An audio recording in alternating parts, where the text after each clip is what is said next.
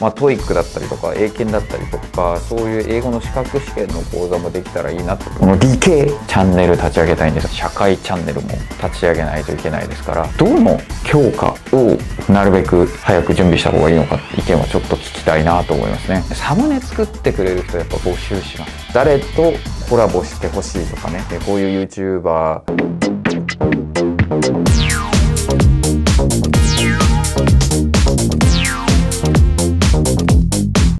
さあ、では始まりました。マルチチャンネルです。今回はですね、そうですね、ただ呼び、登録者10万人突破しました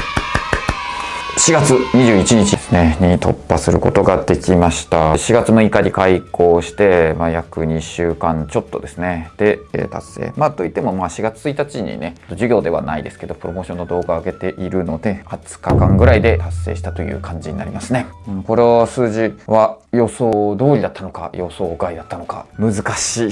予想ができなかったんですよ、ぶっちゃけっとくと。10万っていうのは結構早く行くだろうなと思ってましたけど、まあ、それは僕があの2月3月の段階ですね。このメインチャンネルですね。 Morite2 English Channel で方で入試問題の講評動画とか上げてたじゃないですか。で1日2本とか上がってることが結構多かったと思うんですけどそこでやってでここで受験生とかこれから受験やる人たちの心をつかめるんだったらドッと行きやすいだろうなって思っててただよびを見てくれるであろう受験生とか受験に向けて勉強している人たちの心をつかむことができるのかっていうのを試しながらで武田塾でああいう講評を上げていくからそれのま練習みたいな感じだったんですけどで伸びてきてたんでチャンネルがあこれだったらいけるだろうなただよびスタートすればっていうのはあったんですよ。ただまあただよびっていうのも前代未聞のプロジェクトですから非常に大きなプロジェクトだったんでどうなるかその辺のことは見えない部分も多かったです。自分だけがこうある程度 YouTube やってたから分かってるけれども他の人は YouTube のことが分かってない手探り状態だったんですよ。だその大変さもあったんで先がだいぶ見えなかった状態です。でこのコロナが入ってきちゃったんで当然プラスに働いた面もありますやっぱりね取材をしてくれる人たちっていうのは、ね、今ね学校とかも行けない状況だからこういうのが役に立ちますよねみたいな感じで取り上げてくれたんでメディアの取材の方がそれがプラスに働いたんですけど僕がやろうと思ってたことがことごとくできなくなってしまったためにそっちのプロモーションができない。っていう感じですね。で月から金までは授業動画が出てるんですけどそう土日とかって他のことやりたいんですけどそれができないっていう状況です今ね。本当はねやっぱ有名 YouTuber の人たちとコラボしたりとかそういう動画をね上げていきたいんですけどなかなか今の状況なんでオファーすらできない状況ですね。このね吉野先生といろんな YouTuber とかのねコラボとか見たいんでね自分自身ね。でだから吉野先生になるべく YouTuber のことを知らないでほしい。全く知らない状況で有名な YouTuber とかとコラボしてほしい。吉野先生、前に連絡来た時、ヒカキンのことずっとフカキンって言ってましたからね。本当に知らないんだな、YouTuber と思ったんですけど、そういうね、人とのね、コラボとかすごい見たいんですよ。本当はだから10万人記念ライブってやりたいんですよ吉野先生とこう並んでねやっぱ YouTube ライブもこうなんか2人並んでるだけで批判が出るっていうことらしいのでそういうのもできなくてちょっと困ってる状況なんですが YouTube 戦略の部分が今できてない状況なのでそれをやってない状況で10万人に20日できたっていうのは予想より早かったです。予想より強かった。YouTube プロモーションがあるのを想定してた子からすると日数的には遅いです。でもそれがなしでこれだけの速さで達成できたっていうのは驚いてます自分でも。でじゃあ今後どうやってやっていくんだっていうことなんですがまあ皆様のね当然リクエストもいろいろ答えていきたいと思ってるんですがただ呼びのチャンネル自体は今英語古文ですけど、えー、当然ですね現代文や漢文っていうのも必要になってきますからそういった形でやる予定です。で加えてその土日に関しては、まあ、 TOEIC だったりとか英検だったりとかそういう英語の資格試験の講座もできたらいいなって自分は思ってます。今まあの収録ストップしてる状況なんでできないんですけどそういうのもやりたいなと思ってます。えっと、あとは理系のねチャンネル立ち上げたいんですよ。ただよびの名前決めてないですけどただよび理系チャンネル？わかんないですけど理系側のチャンネルを早く立ち上げたいなって思ってますね。そのオーディション的なやつができない状況なんで今ね。書類だったりとかもう来てるらしくてその後なんかその動画で選考したりするらしいんですがまだそういうのも全然自分がその見れる状況とかではないのでどうなるかわかんないですがだから理系のチャンネルではその数学もちろんそうですね。数 1A2B3C これが必要ですしプラスしてもちろん物理化学生物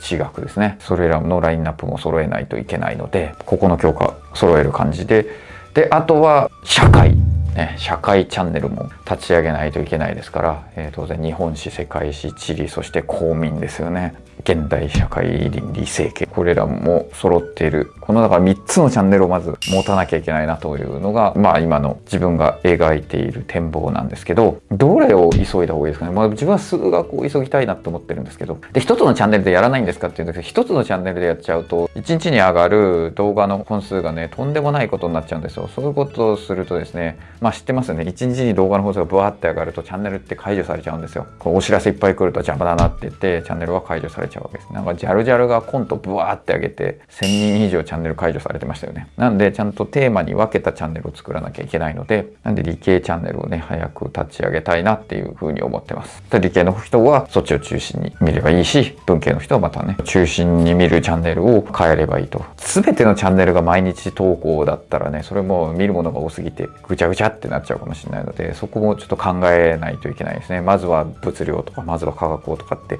やるかもしれないですしそこはまだ手が回ってない状況ですね。そうするとね編集チームもでっかくしなければいけないのでドドドドッと増えますから仕事量ね。あとねサムネ作ってくれる人やっぱ募集します。はい。是非言ってください。やっぱ1枚1000円ぐらいなんでしたっけ？なんかさっき調べたら。それでね、ぜひあのサムネ作れますっていう人ですね。Twitter とか Facebook で連絡してください。それでその適用を見てですね、やってもらいたいなと思ってきます。今もう完全に英語とか自分がやってて、まあ当然ですけどね、手回んないんですよ。ももっとね、こだわったの作りたいんだけど、それやってる時間がない。あとね、やっぱね、サムネってね、センスが出るんですよ、すごい。こればっかりはね、そういろんな YouTuber とも話したんですけど、センスなので、やっぱ、またこれ美術の絵とかと同じなんですよね。だからこう、誰もができるものではないので、フォントのね、感覚とかっていうのもやっぱあるので、こういうフォントがいいんだとかね、それやっぱりあるんですよね。そういうのを指示しなくても、こう、センスでバンと出せる人ですね。ぜひ、お願いしたいと思ってます。そういうのをずらずらずらずらっと揃えていって、2021年には教科がブワッとある状況にしておきたいんですよね。それぞれ教科に一人の先生でやっていくのかって言ったらそうでもないので、あの別に英語も増えると思いますし、古文も増えると思ってます。だから、うわこの先生来るんだ、ええー、みたいに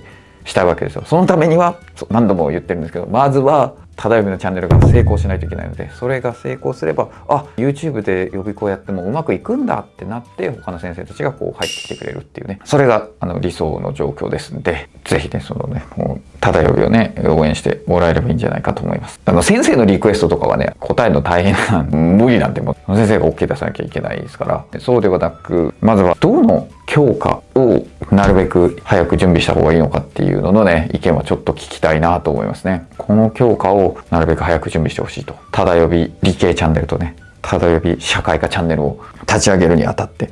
どこからまずね、やっていかなきゃいけないのかなっていうのはちょっと思ってますね。そこで、ね、うまくやっていきたいと思いますね。で、5月6日が、もし普通、普通にかわかんないけど、外出できるようになったら、ちょっといろんなのを収録したりとか、いろんな人とのコラボを取っていきたいので、ここはぜひ聞きたいです。誰とコラボしてほしいとかね、えー、こういう YouTuber とコラボしたらうまくいくんじゃないですかみたいなのをこれ聞きたいです。意見として。純粋に知りたい。もしかしたら僕は知らないね。あこの人だったらうまくいくんじゃないですかっていう YouTuber はまだいるんじゃないかと思ってますし、まあ、それをね実現させるためにも当然ただ読みの方ねぜひ見てください。登録者増やして当然視聴数が増えればあすごいじゃんこのチャンネル、ね、コラボしようってなってくれると思うのでもうぜひお願いしたい。そしてどの教科まずやった方がいいのか意見も聞きたいですね。もちろんそんなすぐにスタートできるわけじゃないですかね。先行して、えー、編集チーム作ってとかっていうのがあるので。今あの編集チーム編成してもらってますので作れる人たちをこう集めてるって感じです。でねサムネ作れる方ははい是非お願いしますね。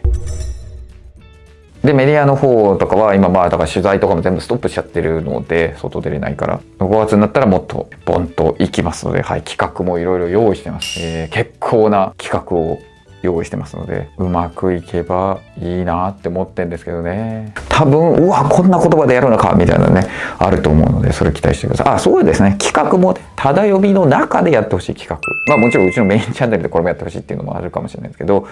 ただ呼びで、やってほしい企画をですね、お願いします。そういった形でね、様々なリクエストを募集しておりますので、とりあえず10万人は突破まだまだ仕掛けますので、当然ね、自分が描いているものっていうのはまだまだ大きいですから。ね、当然受験のバーッと揃ったら、えー、その他のものにも行きますからいろんな教育のものに、えー、幅広くチャンネルは広がっていきますのでものすごく大きなプロジェクトですね前代未聞のものになるのはそれは間違いないのでそのためには失敗するわけにはいきませんまずはこのね歴史を変えるプロジェクトに皆さんのお力をよろしくお願いしますはいでこれからもたたやびの応援をしていただければなと思います。そして、ね、このメインチャンネルも10万人をね、ぜひ突破したいので、今年はね、そちらの方の協力もお願いします。そして、盾を2つ持って動画で出たいので、10万人の2つチャンネルやってるよ、みたいなのをやりたいので、なので、こちらの、えー、チャンネル登録よろしくお願いします。はい、ご視聴ありがとうございました。Thank you for watching.